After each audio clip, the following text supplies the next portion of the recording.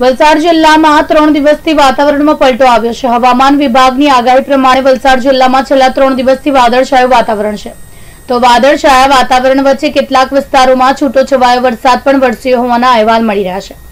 ગઈ મોડી રાત્રે વલસાડ જિલ્લાના કપરાડા તાલુકાના અંતરિયાળ વિસ્તારોમાં ભારે વરસાદ પડ્યો હતો. મહારાષ્ટ્ર અને ગુજરાતની બોર્ડર પર આવેલા કપરાડા તાલુકાના સિલદા બુરલા આસ્ટોલ અને આસપાસના ગામોમાં ભારે વરસાદને કારણે ખેતીને મોટું નુકસાન થયું છે. મહત્વપૂર્ણ એ છે કે અત્યારે જિલ્લામાં મુખ્ય પાક એવા ડાંગરની કાપણીની સિઝન ચાલી રહી છે. ત્યારે ખેડૂતોને ડાંગર કાપી અને ખેતરમાં સુકાવા પાથરી રાખ્યો છે. એ જ વખતે જો મોડી રાત્રે ભારે વરસાદને કારણે ડાંગરો સુકાઈ રહેલો પાક વરસાદના પાણીમાં પલળી ગયો છે, જેથી ખેડૂતોને મોટી નુકસાની વેઠવાનો વારો આવ્યો. આમ, કમોસમી વરસાદને કારણે ખેડૂતોના મોડે આવેલો કોળિયો છીનવાઈ જતા સમગ્ર પંથકમાં ખેડૂતોમાં ચિંતાની લાગણી પસરી ગઈ છે. રાતના બાર એક બારથી એક વાગે જેવું વાવાઝોડું આવ્યું તો બધું નુકસાન થઈ ગયું. બધું ડાંગરના પાક તો ખેતરમાં જ રહી ગયા, પાણી બધું ભરાઈ ગયેલું. એટલે દાણા તો બધા સડી ગયા અને અમે તો તેના પર જ જીવીએ. અમને તો કંઈ બીજું ઉપાય જ નહીં. સરકાર અમને કંઈ યોજના આપે તો સારું.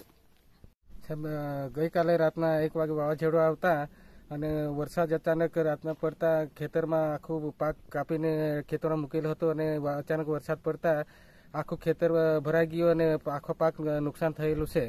એમાં હવે ભીજાતા આખું નુકસાન થઈને સડવા લાગ્યું છે એટલે આખું ખેતર ભરાઈ ગયેલું. હવે અમારા ખેતરમાં પાણી છે એટલે અમારે ખાવાના ફાફા થઈ ગયા છે. હવે સરકાર અમને કંઈ મદદ કરશે એવી અમારે આશા છે. કેવી રીતના એટલે કોઈ રાતના બારથી એક વાગે જેવો આવ્યો, એટલે દિવસના રહેતા અમે જેમ તેમ થોડાક મહેનત જેવી કરી. રાતના બાર વાગે આવ્યો એટલે વાવાઝોડ ને વરસાદ આવ્યો એટલે બધા પાણી ભરાઈ ગયેલું અને ડાંગરના પાક તેમાં જ બધા અંદર બધું ખરાબ થઈ ગયેલા. પછી અમે નાના ખેડૂત છે આના પર જ અમે જીવે અને એના પર અમારા ઘર ગુજરે છે. એના સિવાય અમારે દૂસરો કોઈ ખેતી નહીં. એના સિવાય અમારે ધંધો નહીં.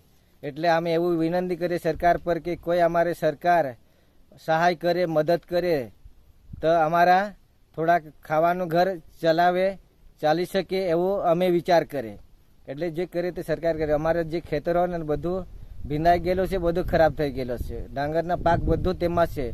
અડધું એકર મારું છે. તે બધું તેમાં જ ખરાબ થઈ ગયેલો છે. બધું